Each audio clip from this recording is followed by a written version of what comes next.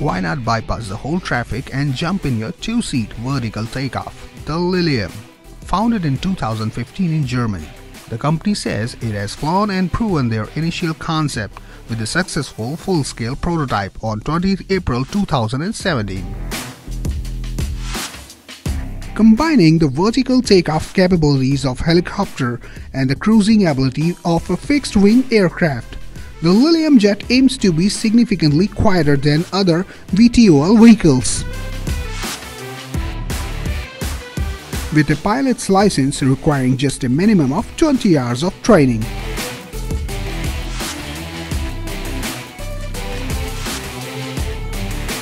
The new craft is designed to be a good deal safer than a helicopter and with intelligent computer control for automatic takeoff and landing.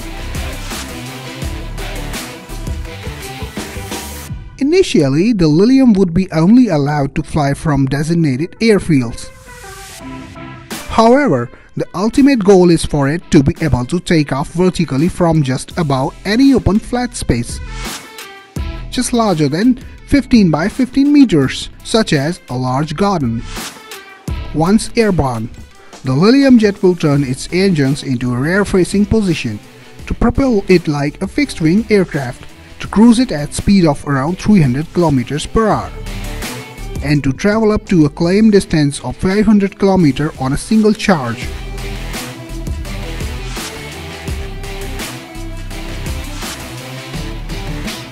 Top speed is aimed at around 400 km per hour.